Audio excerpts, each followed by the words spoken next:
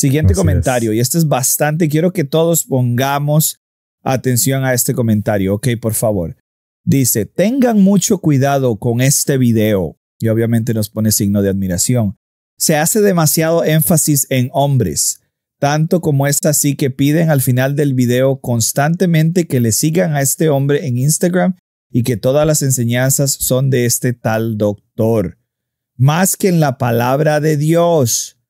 Ahora, no sé si Denis vio el, el stream completo porque pues estaba lleno de citas bíblicas. E, es más, cada uno de los segmentos, cada, cada tres o cuatro minutos, era una serie de tres, cuatro versículos bíblicos para sustentar lo que nosotros estábamos diciendo.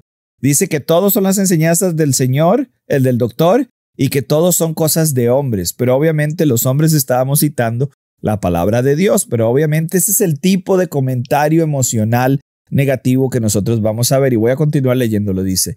Y todo se trata de sensacionalizar hechos bíblicos por vender cosas. Ahora me encantaría saber cómo es que él hace esa diferencia de que lo que nosotros estamos haciendo en cuanto al concilio bíblico, en cuanto a, a la torre de Babel, en cuanto a todas estas cosas, que se encuentran en las escrituras, cómo nosotros estamos amarrando eso y sensacionalizándolo para vender cosas. Por favor, es más, la, la, razón por la que nosotros quisimos hacer una oferta de Logos Bible Software es porque las personas ya nos habían pedido la, la, vez anterior qué es el software que ustedes utilizan para hacer investigación bíblica. Entonces fue una petición de la audiencia, no fue que nosotros decidimos, ok, vamos a venderles cosas para hacer esto. Yo, nosotros no tuvimos, yo no tuve que irle a pedir a Logos Bible Software que le, diga, que le diera un descuento a nadie. Continuamos. Por favor, tengan cuidado porque en los últimos tiempos vendrán falsos maestros y pongan únicamente su énfasis en la Biblia y no en otras cosas extrañas.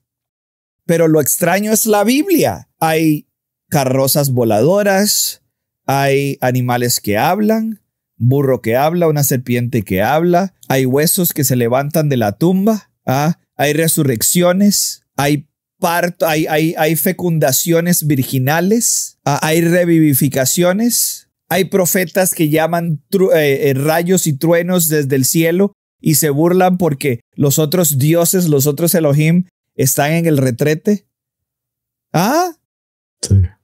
Si esto no es extraño, Oye, yo no sé cuál Biblia está leyendo la persona que hizo este comentario, pero lo irónico es que cuando nosotros vemos algo así, él dice, se hace demasiado énfasis en hombres, porque estamos citando el trabajo de Heiser.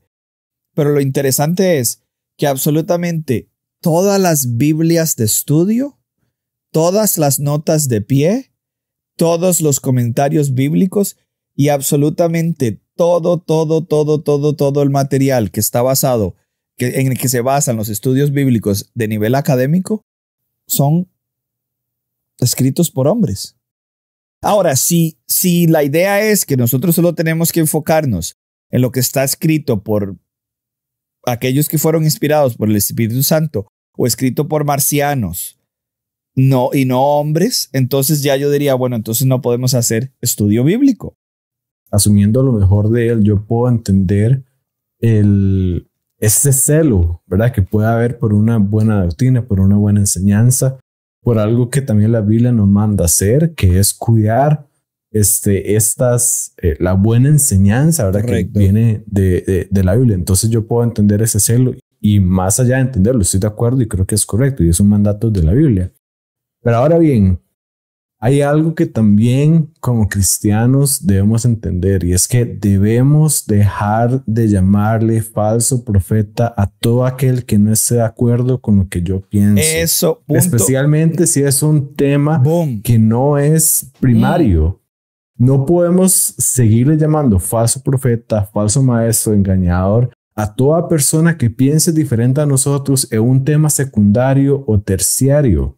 Pablo, cuando en 1 Corintios 15, él dice, yo les transmití a ustedes lo más importante. Y Pablo mismo después dice, hay cosas por las cuales no vale la pena causar división porque son cosas secundarias. Entonces debemos buscar este, esta unidad en las cosas fundamentales, ¿verdad? La resurrección de Jesús, la existencia de Dios, el, el hecho que Jesús es el único camino y que murió por nuestros pecados. Esas cosas fundamentales no son negociables. Y de hecho, el llamarle falsos profetas a alguien solamente porque no está de acuerdo conmigo en un tema secundario, porque no piensa como yo creo, es, es sensacionalista. Y es eh, lo que está, lo que está criticando esta misma persona.